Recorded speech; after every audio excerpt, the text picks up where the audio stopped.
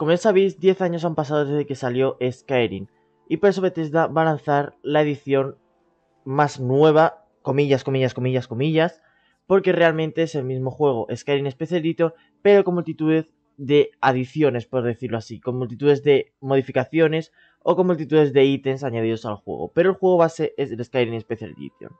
Pero bien, debido a este aniversario de estos 10 años, nos han querido regalar 4 creaciones para los propietarios de Skyrim Special Edition, incluyendo nuevas misiones. Y sí, también el sistema de pesca. ¡Wow! Santos Instructores, primer lanzamiento realizado en 2019. Esta mod, esta creación, presenta una historia adicional, paralela a la historia principal del juego, a través de dos misiones y con varias misiones secundarias, para que los jugadores puedan profundizar un poco más en esta historia. Da un conjunto de armas totalmente nuevo, armaduras, enemigos nuevos y mucho más por descubrir.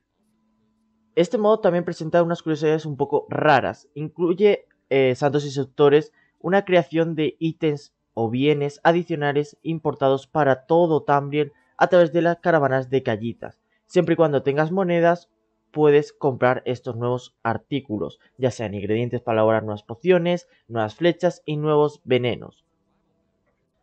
En cuanto al modo supervivencia, ya sabemos un poco lo que es, lo hemos visto anteriormente con Frostfall, pero es sumergirte 100% dentro del mundo de Skyrim, muchísimo más inmersivo, ya que vamos a tener que sobrevivir al entorno. Vamos a tener que abrigarnos con ropas adecuadas, buscar refugio en los climas fríos para evitar congelarnos de frío y morir. Además, vamos a tener que cuidar el hambre y el agotamiento, y ya no solo va a ser una amenaza a los bandidos, sino que también el clima. Vamos a tener que utilizar armaduras adecuadas para el clima, incluso utilizar tabernas de vez en cuando para descansar nuestro cuerpo.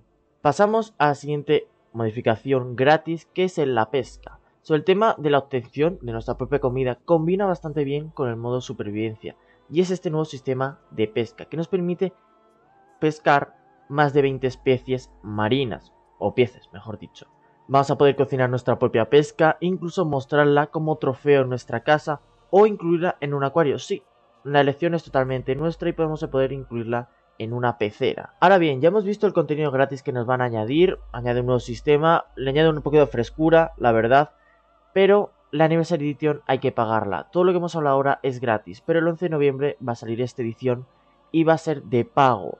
De pago los ítems que van a añadir nuevamente, unos 500 ítems más o menos van a añadir, ya sean armas, quests, armaduras, objetos, lo que sea, va a estar dentro de ese conjunto de 500 ítems nuevos, ya sean hechizos también. En cuanto a algunas misiones, por ejemplo Ghost of Tribunal, vamos a tener docenas de armas y armaduras relacionadas con el tema del The Scrolls 3 Morrowind. Un poco nostalgia, vuelta al pasado con esas armas y armaduras. Mientras en la misión que se llama The Chaos, los jugadores van a encontrarse un poco con el objetivo de que hay en una nueva puerta de Oblivion y también presentar nuevos enemigos, ubicaciones y armas. Una misión bastante curiosa ese de Caos, ya que nos, un poco, nos habla un poco de esas puertas de Oblivion y la creación que hay en Skyrim de una nueva y el por qué está ahí. Todas estas creaciones van a estar junto con las gratis, pero si pagamos, obviamente. Esta edición se convierte hasta la fecha en la más completa repito, hasta la fecha, porque seguramente nos vuelvan a sacar Skyrim nuevamente, segurísimo.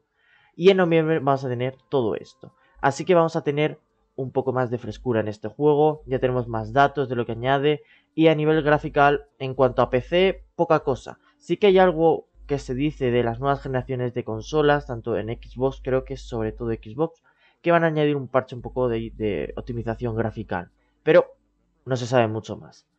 Así que nada, aquí esta primera review, esta primera preview, por decirlo así, review no porque no tenemos el juego, pero sí una preview de los contenidos y de lo que nos va a aportar. Como sí hemos explicado ya a lo largo de muchos días, es básicamente lo que llevo repitiendo semanas, meses, de lo que nos va a traer esta Anniversary Edition. Pero bueno, es lo que hay. Espero que os haya gustado. Como un like, compartir, una suscripción, se agradece muchísimo. Y nos vemos en el próximo vídeo. Adiós.